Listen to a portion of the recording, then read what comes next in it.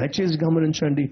దేవుడు తన ప్రజల పట్ల తన బిడ్డల పట్ల ఏ ఏ ఉద్దేశాలు కలిగి ఉన్నాడో ఏ ఏ తలంపులు కలిగి ఉన్నాడో వాటిని నూటికి నూరు శాతము దేవుడు నెరవేరుస్తాడు నెరవేర్చే దినాన్ని తప్పనిసరిగా వారి జీవితంలో అనుగ్రహిస్తాడు. అలా నెరవేరే విధంగా పరిస్థితులు కనిపించకపోవచ్చు.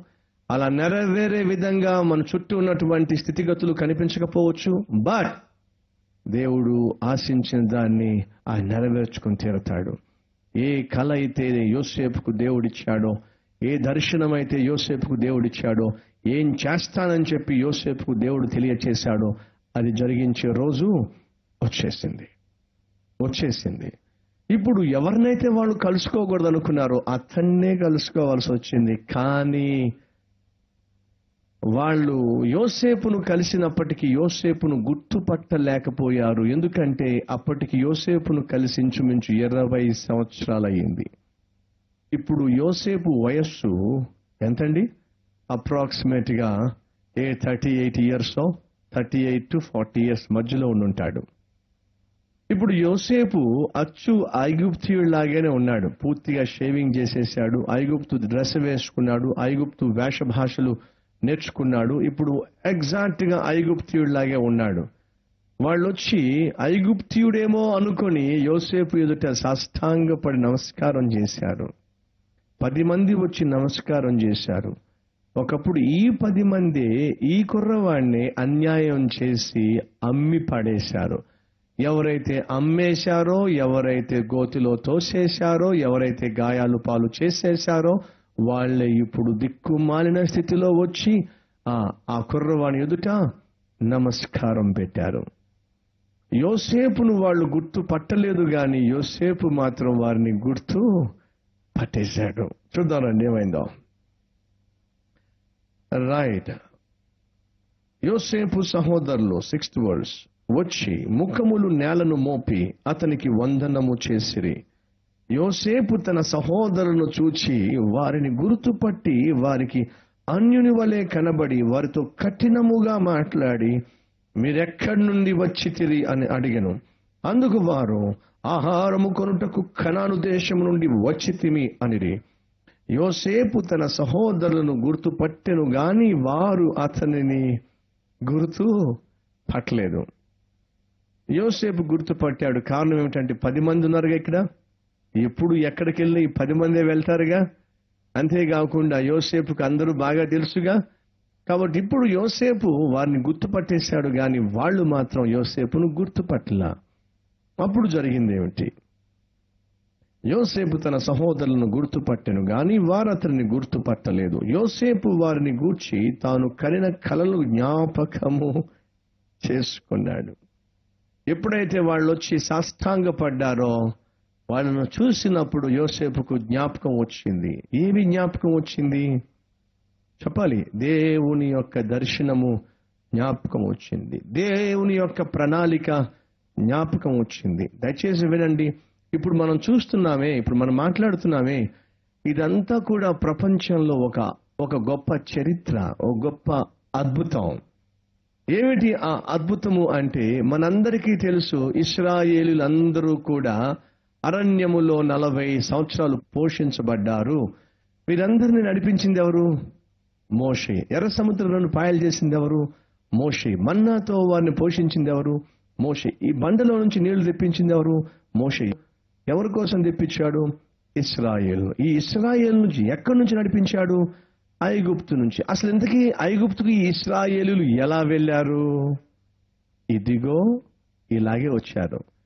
మొట్టమొదటిగా ఐగుప్తులో అడుగు పెట్టిన వ్యక్తి ఎవరయ్యా అంటే యోసేపు. ఎందుకు యోసేపు ఐగుప్తులో అడుగు పెట్టాల్సి వచ్చిందయ్యా అంటే బ్రదర్స్ అందరూ కలిసి యోసేపును అమ్మి పడేశారు కాబట్టి. అలా అమ్మి వేయబడినటువంటి యోసేపు అక్కడ కరువు వచ్చినప్పుడు ఆ ప్రజలందరికీ అండగా నిలబడి ఆహారం పంచినప్పుడు యోసేపు దగ్గర ఆహారం ఉన్నది అని చెప్పి తన సహోదరులు రావడం జరిగింది. ఆ తరువాత ఆ సహోదరులతో పాటు ఆ తండ్రి రావడం జరిగింది. తండ్రితో పాటు అరవై డెబ్బై మంది కుటుంబం రావడం జరిగింది.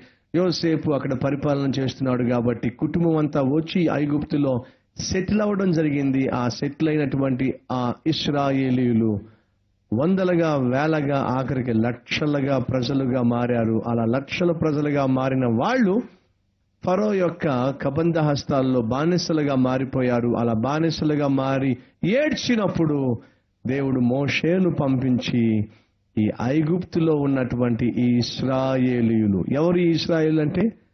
ఇదిగో యాకోబుతో పాటు వచ్చిన కుటుంబ సభ్యులు అందరూ కలిసి ఇస్రాయేలీలు. వాళ్ళే లక్షల కొద్దిగా పెరిగారు పెద్దవాళ్ళయ్యారు ఇంచుమించు నాలుగు వందల సంవత్సరాలు ఈ ఇస్రాయేలీలందరూ కూడా ఐగుప్తులో బానిసలుగా బ్రతికారు. లక్షల మంది అయిన తర్వాత వాళ్ళను విడిపించడానికి దేవుడు మోషేను పంపించాడు. చరిత్ర అంతా ఆ విధంగా మనం చూస్తాం. ఇప్పుడు ఇంతకీ ఇస్రాయేలులు ఐగుప్తులో నుంచి విడిపించబడి అరణ్య మార్గంలో వాగ్దాన భూమిలోనికి నడిపించబడడానికి కారణం అర్థమైందా? ఇదిగో ఇదే.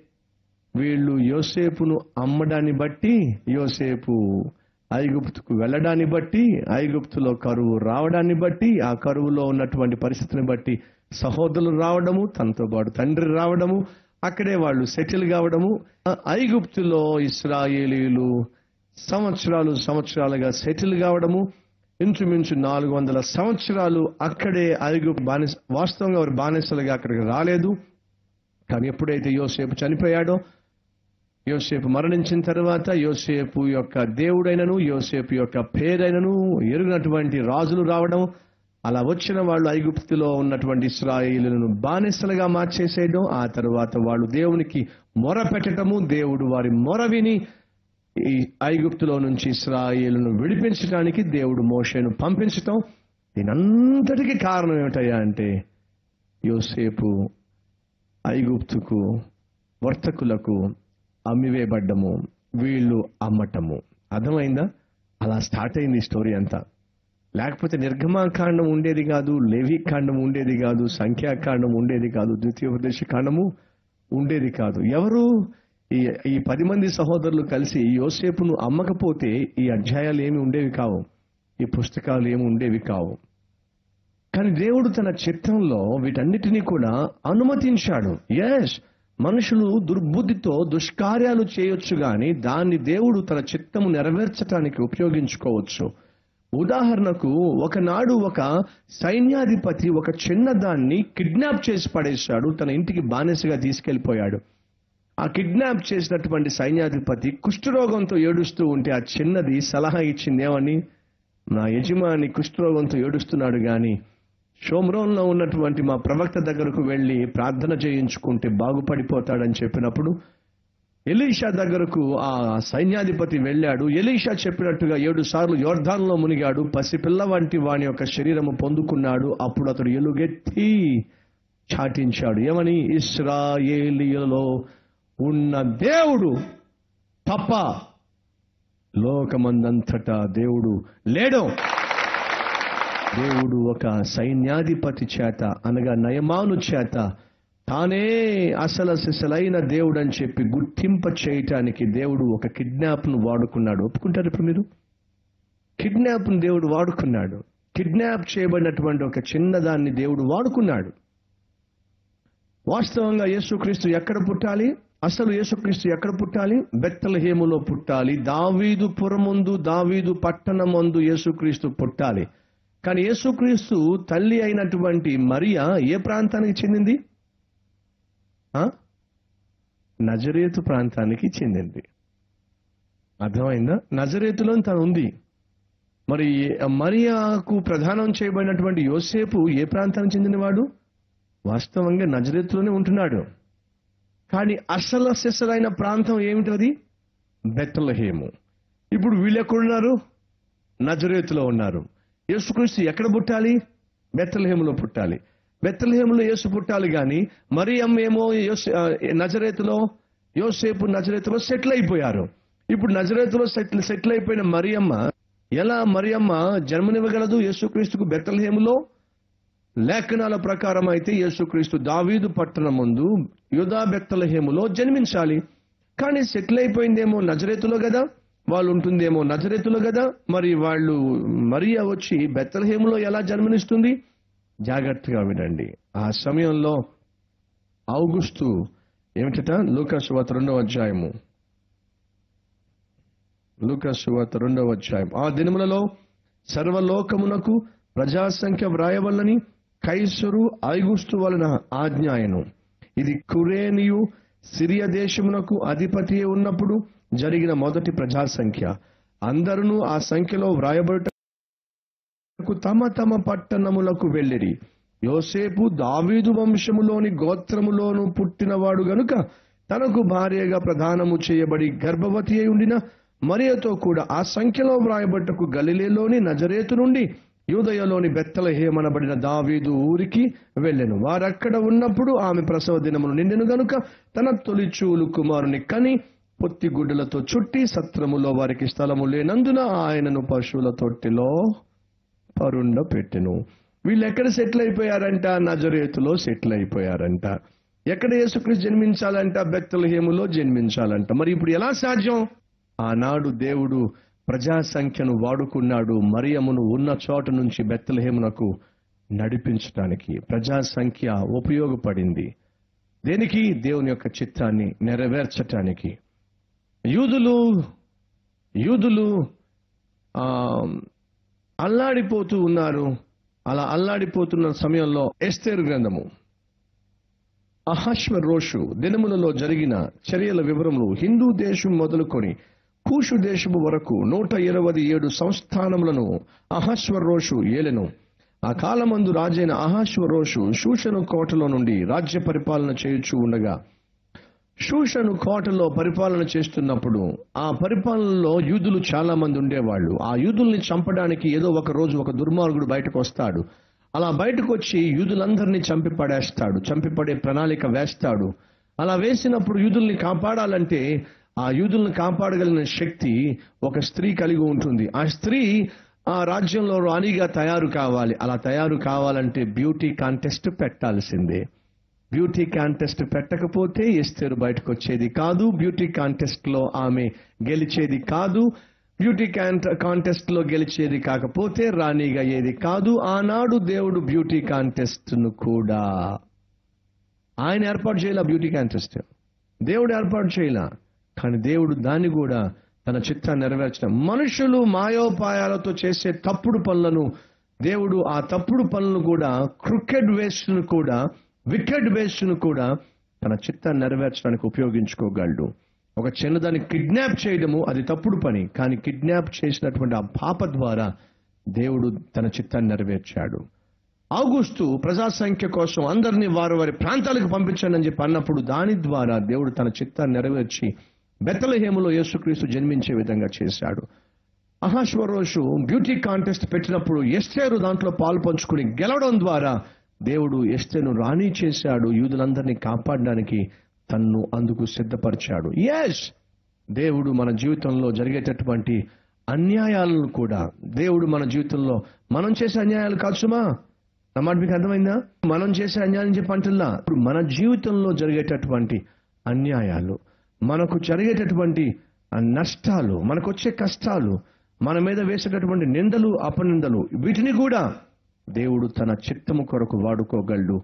అన్యాయముగా యోసేపు అమ్మివేయబడ్డాడు. అన్యాయంగా యోసు యోసేపు చెరసాల్లో వేయబడ్డాడు. అన్యాయంగా యోసేపు నిందించబడ్డాడు. కానీ వీటన్నిటినీ కూడా దేవుడు ఏం చేశాడు? తన చిత్తాన్ని నెరవేర్చడానికి ఉపయోగించుకున్నాడు.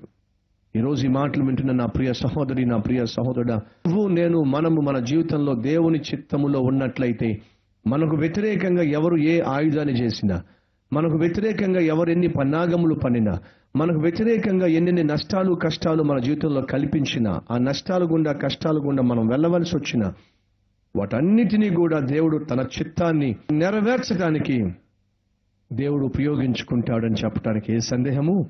లేదు. కాబట్టి బైబిల్లో ఉందంటే తన ఎందరైతే దేవుని ప్రేమిస్తారో అలా ప్రేమించే వారికి సమస్తము సమకూడి మేలు కొరకే జరుగుతున్నాయి. నీ జీవితంలో నా జీవితంలో మన జీవితంలో ఏమి జరిగినా అది మన మేలు కొరకు జరిగించేటటువంటి శక్తి మన దేవునికి ఉంది. నా ఉద్యోగం పోయింది మేలు కొరకేనా? నువ్వు విశ్వసించినట్లయితే అది మేలు కొరకే. నేను మొన్న బైక్ మీద వెళ్తూ వెళ్తూ డామని కింద పడి కాలు కొట్టుకున్నాను అది కూడా మేలు కొరకేనా? జాగ్రత్తగా ఆలోచన చేసి దేవుని చిత్తాన్ని జరిగించేవాడు అయితే అది కూడా నీ జీవితంలో మేలు కొరకే దేవుడు ఉపయోగించగలడు. నువ్వు దేవుని బిడ్డవైతే ఓకే ఒకసారి ఆలోచిద్దానండి ఎవరు అమ్మేశారు యోసేపుని? సహోదరులు అమ్మేశారు. ఎవరు తోసేశారు గోతులోకి? సహోదరులు తోసేశారు. కానీ ఇప్పుడు యోసేపు ఏమంటాడు దాన్ని? ఏమంటాడు యోసేపు? చూద్దామండి యోసేపు ఏమన్నాడో చూద్దామండి నేను అనే మాట వాస్తవం కాదు? బైబిల్లోనే చూద్దాం. నలభై ఐదు ఐదో వచ్చినము నాలుగో వచ్చినము కూడా. అంతటి యోసేపు నా దగ్గరకు రండని తన సహోదరులతో చెప్పినప్పుడు వారు అతని దగ్గరికి వచ్చినప్పుడు అప్పుడు అతడు ఐగుప్తునకు వెళ్ళునట్లు మీరు అమ్మివేసిన మీ సహోదరుడైన యోసేపు నేనే వెళ్ళునట్లా? ఏమండి? యోసేపు ఐగుప్తునకు వెళ్ళునట్లా వెళ్ళునట్లు కాదు. వాళ్ళు ఆ రోజు యోసేపు పట్ల పగపన్ని యోసేపు పట్ల ద్వేషాన్ని పెంచుకొని యోసేపు పట్ల అసూయపడి యోసేపును ఏదో ఒకటి చేయాల్సిందే మనం అని చెప్పి పాపం అన్యాయంగా అమ్మిపడేశారు. కానీ యోసేపు దాన్ని అన్యాయంగా భావించలేదు. ఏమంటున్నారు? నన్ను యో- యోసేపు ఏమంటున్నాడు? ఆ రోజు మీరు నాకు టికెట్ కొని నన్ను ఐగుప్తుకు పంపించారు కదా. అన్నట్టుగా మాట్లాడుతున్నాడు. ఏమంటున్నాడు చూడండి. అప్పుడు అతడు ఐగుప్తునకు వెళ్ళునట్లు మీరు అమ్మివేసిన మీ సహోదరుడైన యోసేపును నేనే అయినను నేను ఇక్కడికి వచ్చున్నట్లు చూడండి ఏమంటున్నాడు వచ్చున్నట్లు మీరు నన్ను అమ్మివేసినందుకు దుఃఖపడకండి. అది మీకు సంతాపం పుట్టింపనీయకుడి ప్రాణరక్షణ కొరకు దేవుడు మీకు ముందుగా నన్ను పంపించాడు. మీరు అమ్మేశారు. అది మీ యొక్క అన్యాయం. కానీ నా దేవుడు అమ్మేసినట్టుగా నన్ను ఇక్కడ తీసుకురాలా. మిమ్మల్ని అందరినీ రక్షించడానికి నన్ను ఇక్కడికి తీసుకొచ్చాడు. ఎంత చక్కగా ఉంది చూసారా? అంటే ఒక నీతిమంతుని జీవితంలో ఇతరులు అన్యాయం చేస్తారు. ఇతరులు మన పట్ల అన్యాయంగా వ్యవహరిస్తారు. కానీ అది వారు అన్యాయంగా వ్యవహరిస్తారు. ఇటువైపేమో దేవుడు దాన్ని ఆశీర్వాదంగా మార్చేస్తున్నాడు. అనగా నీతిమంతుని జీవితంలో ఏది జరిగినా అది ఏదో విధంగా దేవుడు దాన్ని క్షమకరంగానే మార్చేస్తాడని చెప్పడానికి ఏ సందేహము లేదో. కానీ ప్రశ్న ఏమిటంటే మనం నీతిమంతులమా? కాదా? అనేది అసలు సిసలైన ప్రశ్న. యోసేపు వలె మనం దేవుని చిత్తాన్ని చేసేవారమైతే యథార్థంగా జీవించేవారమైతే ఆయన దయా సంకల్పంలో చొప్పున పిలవబడిన వారమైతే ఆయనను మనం ప్రేమించేవారమైతే ఆయన ప్రేమను పొందుకున్న వారమైతే బైబిల్ సెలవిస్తుంది సమస్తము మేలు కలుగొట్టకై సమకూడి జరుగుచున్నాయి. ఈ మాట బైబిల్లో నూటికి నూరు శాతము నెరవేరింది యోసేపు జీవితంలో. దుష్టులు ఎన్నైనా దుష్టత్వంతో ప్లాన్స్ వేయనివ్వండి. మీ చుట్టూ ఉన్న వాళ్ళు ఎన్నెన్ని ఇబ్బందులైనా చేయనివ్వండి ఎన్నెన్ని ఇబ్బందులైనా పెట్టనివ్వండి ఎన్ని కష్టాలైనా తీసుకురానివ్వండి. మీ జీవితము అటు ఇటు ఎన్నిసార్లైనా కొట్టబడినివ్వండి కానీ మీ జీవితంలో ఒకటి మాత్రం మర్చిపోకండి. ఏమిటయ్యా అంటే వీటన్నిటి మధ్య దేవుడు నా జీవితంలో తన చిత్తాన్ని నెరవేరుస్తాడు. నా జీవితంలో నన్ను తీసుకుని వెళ్ళవలసినటువంటి ఉన్నతమైన స్థానానికి తీసుకుని వెళ్తాడు అనేటటువంటి సత్యాన్ని మాత్రం మర్చిపోవద్దు. ఈరోజు నువ్వు అనేక విపత్కరమైన కష్టతరమైన అవమానకరమైన అన్యాయము చేయబడుతున్న పరిస్థితులు గుండా నువ్వు వెళ్తున్నావా?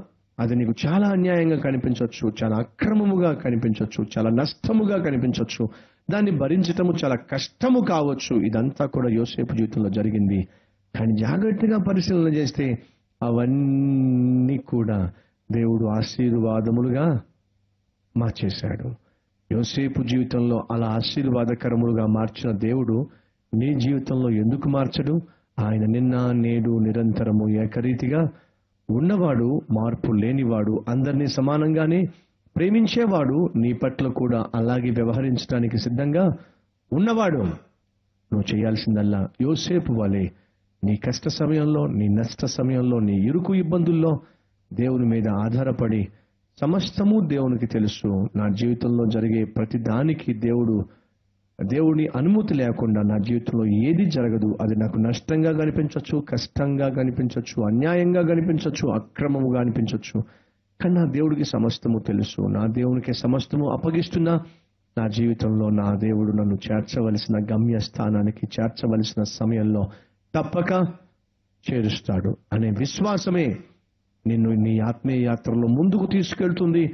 నువ్వు చేరుకోవలసిన గమ్యానికి నిన్ను చేరుస్తుంది. నీ ద్వారా అనేక మంది జీవితాలను దీవనకరంగా మారుస్తుంది. అట్టి కృప పొందుకోవడానికి ఈరోజు మనం కలిసి ప్రార్థన చేద్దామా? లెడస్ ప్రే ప్రార్థన చేద్దాం ప్రతి ఒక్కరు తలలో ఉంచండి.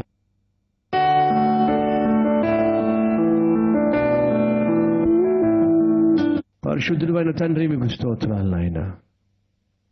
యోసేపు జీవితంలో జరిగిన అన్యాయాలన్నీ కూడా ఆశీర్వాదకరములుగా మారిపోయినాయి. అలా మార్చేశావే? ఎంత గొప్ప దేవుడు నాయన. ఒక్కడివే ఇది చేయగలవు. నీ ఒక్కడి వల్లే ఇది సాధ్యం.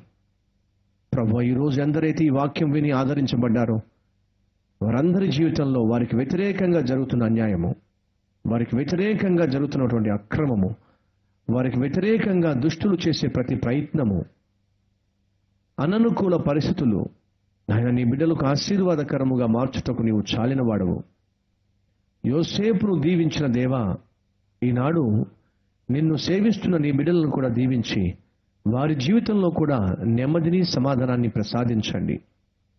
ప్రభు మీ చిత్తము చేసే వారిగా మేము ఉన్నట్లయితే మీ చిత్తాన్ని నెరవేర్చడానికి అననుకూల పరిస్థితులను కూడా అనుకూలంగా మార్చేస్తారని మేము తెలుసుకున్నాం. అట్టి విశ్వాసము నిరీక్షణ కలిగి ఆత్మీయంగా ముందుకు సాగే భాగ్యాన్ని ఇవ్వమని ఏ రీతిగా ప్రభు యోసేపు జీవితంలో అన్ని అననుకూలంగా కనిపించినా వాటన్నిటిని కూడా అనుకూలంగా ఆశీర్వాదకరంగా ఎలా మార్చారో అలాగే మా జీవితంలో కూడా మార్చమని కనికరించమని యేసునామములో వేడుకుంటున్నాము తండ్రి.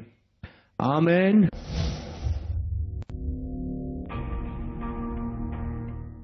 అందరికీ శలం నా పేరు శ్రీనివాసరాజు. మా తూర్పుగోదావరి జిల్లా. మాదొక అన్య కుటుంబం. హైదరాబాద్ వచ్చి చిన్న కంపెనీలో జాబ్ చేసుకుంటూ జీవిస్తూ ఉండేవాడిని. అదే కంపెనీలో ఆరు సంవత్సరాలుగా చేసుకుంటూ ఉండేవాడిని. అనుకోకుండా ఒకరోజు నన్ను డ్యూటీ నుంచి తీసేయడం జరిగింది.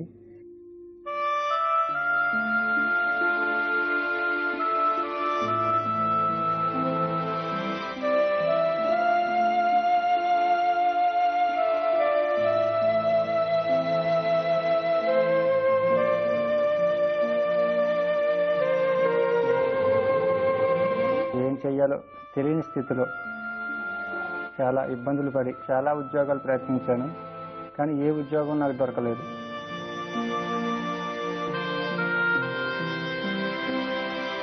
ఆ స్థితిలో ఏం చేయాలో తెలియని స్థితిలో కూలి పనులు చేసుకుంటూ సిమెంట్ పనులు చివరి వర్కులు కాంట్రాక్ట్ పనులు ఏయో సెంటరింగ్ పనులు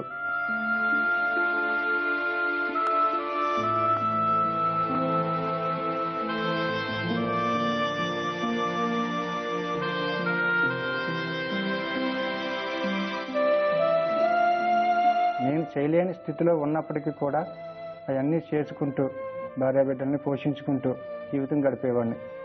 ఆ వచ్చిన డబ్బులు కూడా సరిపోయే కాదు. అయినా అప్పులు చేస్తూ కుటుంబాన్ని అలాగే ముందుకు తీసుకొస్తూ ఉండేవాడిని.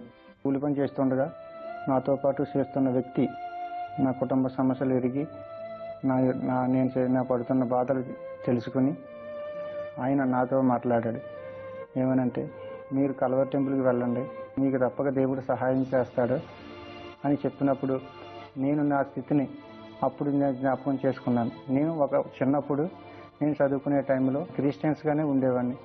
మందిరానికి వెళ్ళేవాడిని ఆదివారం వస్తే చర్చిలకి వెళ్ళేవాడిని పాటలు పాడేవాడిని. అయినా నా ఆ స్థితిని మళ్ళీ నేను జ్ఞాపకం చేసుకున్నాను. ఆ క్షణమే కలవర్ టెంపుల్ రావడం జరిగింది. నేను ఏ స్థితిలో ఉన్నానో నేను ఏ ఇరుకు ఇబ్బందుల్లో ఉన్నాను ఏ బాధల్లో ఉన్నాను ఏ శోధనలో ఉన్నాను ఏ కష్టాల్లో ఉన్నాను ఆ రోజే దైవజనుడు సతీష్ కుమార్ గారి ద్వారా దేవుడు నాతోనే మాట్లాడాడు. దేవుడు ఎంత మంచివాడండి?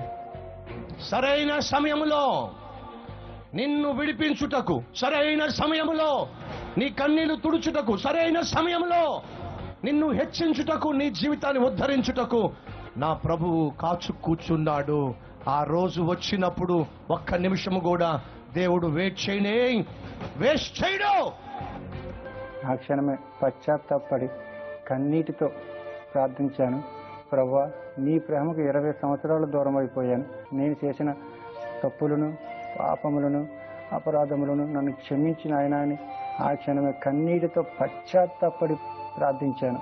నా తప్పులన్నీ విడిచిపెట్టేశాను. నా పాపములన్నీ విడిచిపెట్టి నేను చేసిన దొంగతనములు అబద్ధములు మోసములు తింటున్న గుట్కాలు కైనీలు ఆ క్షణమే సంపూర్తిగా విడిచిపెట్టి సంపూర్ణుడిగా బయటికి వెళ్ళటం జరిగింది. అలా క్రమం తప్పకుండా కలవ టెంపుల్కి వస్తున్న కొద్ది రోజులకే దేవుడు నా పట్ల అద్భుతం కార్యం జరిగించాడు.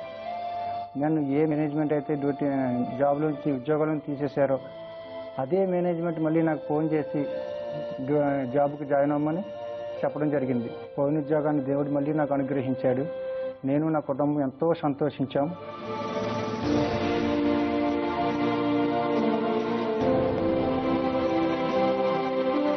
ఎంత సంతోషాన్ని నా నా నా కుటుంబంలో నింపిన ఆ జీవము కలిగిన దేవుడు ఉన్నాడు అని లక్షలాది మందికి ఈ సువార్తను ప్రకటింప చేయాలని ఒక కలవరి స్వరమ కార్యక్రమాన్ని బలపరిచాం.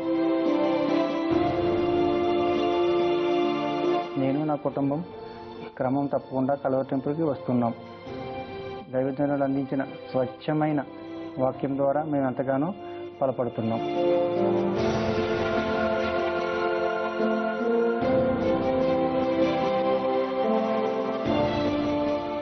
ఇరవై సంవత్సరాలుగా దేవునికి దేవుని ప్రేమకు దూరం అయిపోయిన నన్ను స్వచ్ఛమైన వాక్యం ద్వారా మరింత దేవునికి దగ్గరగా చేసిన మా దేవేంద్రుడు సతీష్ కుమార్ గారికి నా హృదయపూర్వక వందనాలు చెల్లించుకొస్తూ సమస్త ఘనత మహిమ ప్రభావం ఆ దేవునికే చెల్లును గాక